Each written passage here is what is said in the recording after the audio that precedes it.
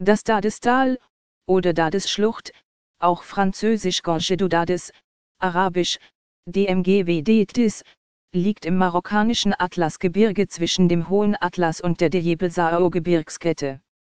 Aufgrund des Deids, der durch das Tal fließt, gibt es einige grüne Flecken in der ansonsten eher wüstenhaften Region, die in unmittelbarer Nähe zur Sahara liegt.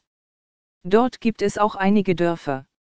Berber legten im Gebiet einst viele Burgen, Kasbahs, an, um sich gegen Feinde zu verteidigen. Insbesondere auch durch die davon übrig gebliebenen Ruinen ist das Gebiet für den Tourismus eine Attraktion.